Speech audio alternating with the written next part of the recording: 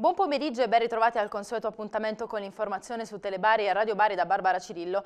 In primo piano Consiglio regionale sono stati sospesi ed aggiornati a venerdì 5 febbraio i lavori del Consiglio regionale pugliese iniziati lunedì mattina per l'esame del bilancio preventivo 2016 e pluriennale. Dopo 18 ore consecutive di discussione questa mattina intorno alle 6.30 l'Assemblea ha deciso una sospensione anche per consentire al Presidente della Giunta regionale Michele Emiliano di partecipare questa mattina a Roma all'incontro della Commissione Salute salute. Sono stati esaminati circa metà dei numerosi emendamenti, complessivamente riempiono 400 pagine. Nel corso della riunione non sono mancati momenti di tensione anche all'interno della maggioranza. L'ex assessore al turismo Gianni Liviano ha abbandonato l'aula per il ventilato mancato stanziamento di fondi ai comuni del Tarantino per interventi di urbanizzazione. La richiesta di sospensione è stata avanzata dal presidente della Regione Puglia Michele Emiliano per i concomitanti impegni istituzionali a Roma.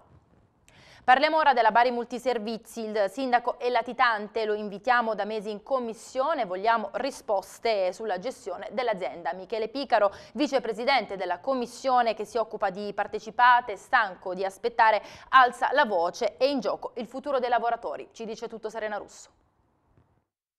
È proprio il caso di dire che il sindaco è latitante. Noi lo stiamo convocando, lo stiamo contattando telefonicamente, tra un impegno e l'altro ancora oggi non si è presentato in commissione. Mi auguro che questo avvenga nella prossima settimana.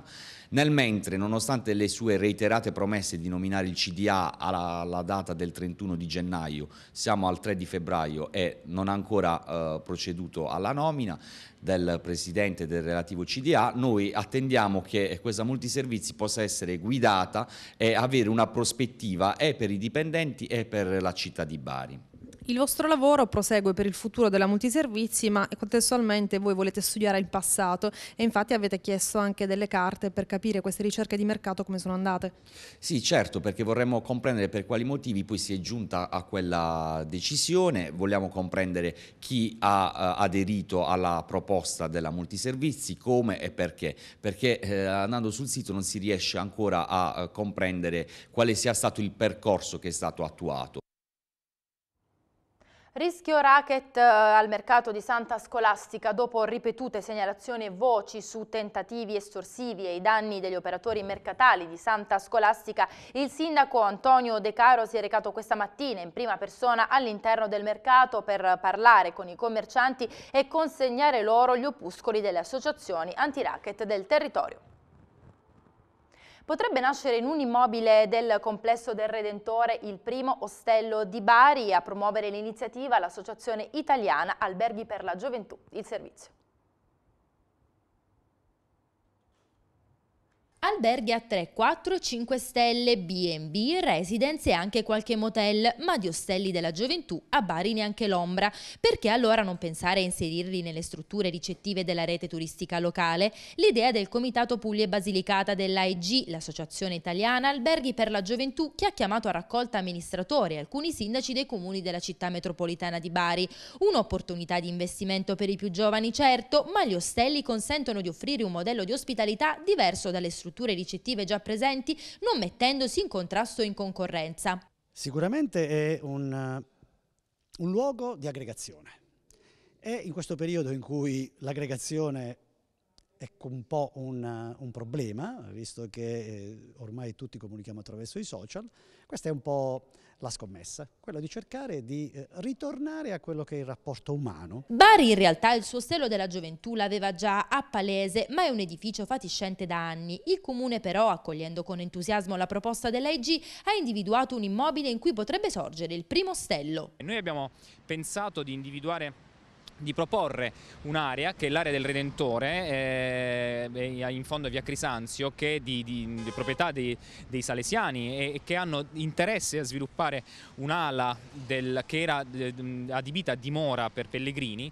eh, sarebbe fantastico se Bari riuscisse con un investimento privato, magari con un gruppo di giovani gestori o di giovani donne o di giovani under 35 che possano quindi accedere anche a finanziamenti speciali, particolari per le categorie eh, di giovani imprenditori e grazie al, all'aiuto all che può dare in termini di, di competenza l'Associazione eh, Italiana degli Ostelli della Gioventù noi faremmo bingo. Intanto proseguono i lavori di rifacimento delle strade della città. In questi giorni, scrive il sindaco Antonio De Caro su Facebook, i lavori di manutenzione della pavimentazione stradale della segnaletica hanno interessato via Papa Benedetto XIII e una traversa di via Meucci che molti cittadini ci hanno segnalato, mentre nei prossimi giorni gli interventi si sposteranno su via Pessina. Abbiamo un obiettivo ben preciso, riqualificare le strade di Bari, un passo alla volta, lo stiamo facendo. Essere protagonisti per un giorno in Consiglio Comunale, il consigliere di Forza Italia Fabio Romito propone apriamo le porte di Palazzo di Città ai baresi. Sentiamo.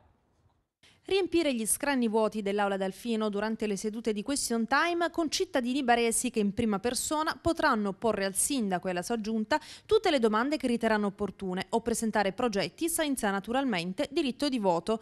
È la proposta del consigliere comunale di Forza Italia e vicepresidente della Commissione Pari Opportunità Fabio Romito che però avvisa la precedenza la avranno donne, giovani e persone diversamente abili. L'ultima riforma che ha ridotto il numero di consiglieri comunali ha lasciato dentro l'Aula del Comune di Palazzo di Città eh, degli scranni vuoti, erano di più i consiglieri comunali, oggi siamo soltanto 36. Su quelle sedie vuote a me piacerebbe che si possano sedere dei cittadini e soprattutto delle cittadine, delle cittadine eh, non scelte da qualcuno, non scelte da associazioni, da, eh, da niente di sovrastrutturato, ma eh, selezionate semplicemente in base alla richiesta di partecipazione. La proposta già depositata sarà presto valutata da tutti i componenti della Commissione. Spetterà poi al Presidente del Consiglio Comunale Pasquale Di Rella esprimersi sulla fattibilità o meno dell'idea. Ma perché l'ingresso del Comune, in particolare delle stanze delle commissioni, sia sul serio aperto anche alle persone in carrozzina, bisognerà prima riparare la rampa per diversamente abili montata dall'ingresso di via Cairoli a Palazzo di Città. È rotta ormai da tempo. Questa mattina facciamo la segnalazione, la facciamo nell'immediato. Speriamo che i tecnici vengano a risolvere il problema il prima possibile. Una partita di 2000 tonnellate di olio extravergine di oliva falsamente etichettato con il marchio Made in Italy è stata sequestrata nel corso dell'operazione Mamma Mia condotta dall'Ispettorato Repressione Frodi su disposizione della Procura di Trani. Il sequestro del valore di 13 milioni di euro ha interessato Puglia, Calabria e Umbria, otto gli indagati che emettevano falsa documentazione sulla provenienza dell'olio in realtà lavorato in Grecia e Spagna. Sempre in Puglia ad Altamura sequestrati dagli agenti agenti della forestale eh, 10.000 kg di olive da tavola colorate, i prodotti sono stati alterati con la clorofilla aramata, sostanza nociva per la salute. E la scuola media Manzoni Lucarelli di Ceglie ha sperimentato un modo tutto nuovo per far studiare ai propri alunni la Divina Commedia di Dante, oggi fuori dai banchi di scuola, tutti sul palco. Dante la sua Divina Commedia, studiata non sui banchi di scuola, bensì su di un palco, l'idea di allontanare gli studenti dalle pagine dei libri per avvicinarli ancora di più alla volgar lingua e dei docenti della scuola secondaria di primo grado Manzoni Lucarelli di Ceglie.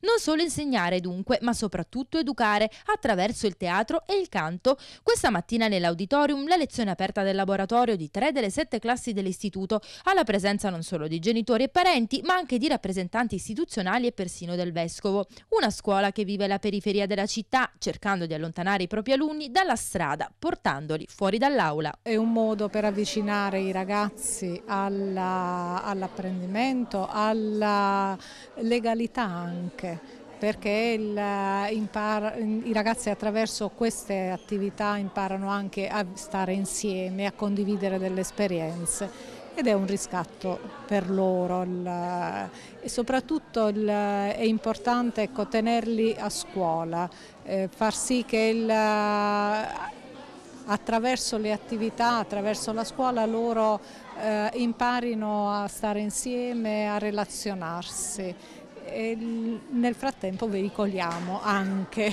quello che è l'apprendimento. E per questa edizione è tutto, in chiusura come di consueto vi ricordo i nostri siti internet telebari.it radiobari.net e per tutte le vostre segnalazioni il nostro indirizzo di posta dedicato info chiocciola il segno di zorro.it. Ora vi lasciamo al meteo, grazie per averci seguito.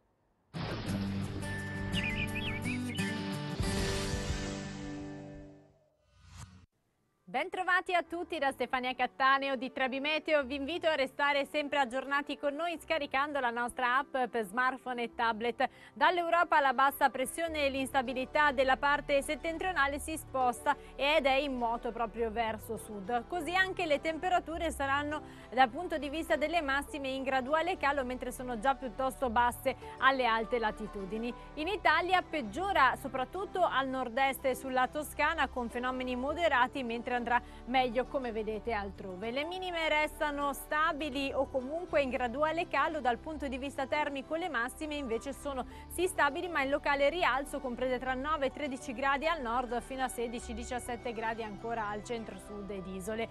Infine al sud abbiamo bel tempo prevalente sulle regioni adriatiche e ioniche, un po' più variabilità sulle tirreniche con qualche possibile pioggia tra Campania ed Alta Calabria in serata, meglio anche sulle isole maggiori. Aggiornamenti su trebimeteo.com.